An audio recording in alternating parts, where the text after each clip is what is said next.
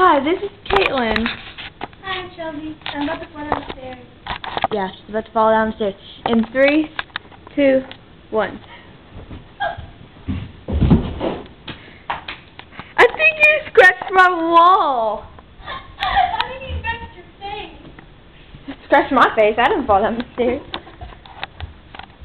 Hold on, I gotta check the wall for any damage. my mom is not home at the moment. This is why we can do this. Oh my god! I did, that the other day.